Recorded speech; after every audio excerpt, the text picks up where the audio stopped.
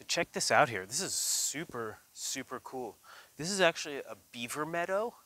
And the reason I know that this is a beaver meadow is because, uh, well, a couple reasons. One is a couple years ago, I was here and this was a, a flooded beaver pond and there were literally beavers swimming around. And if you look just in front of you, that's actually the old beaver lodge there. And now there are plants growing all over it. And then behind me is the, the old beaver dam that's been breached. And this little stream flowing through here, this is barely a trickle, is what used to fill up and keep this beaver pond full. Well, for whatever reason, the beavers are gone.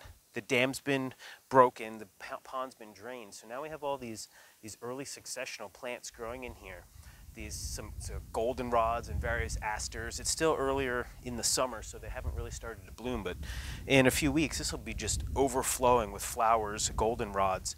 Um, and as I'm standing here, there are all sorts of butterflies actually flying around here, finding a, few of the flowers that are here already.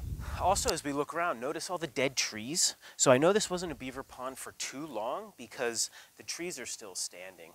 If this was a beaver pond for, for many, many, many years, those trees they would have died. Clearly, they did die, but they also would have been here long enough um, or standing in water for them to rot and fall over. So we're in this early stage of this area being reclaimed as forest.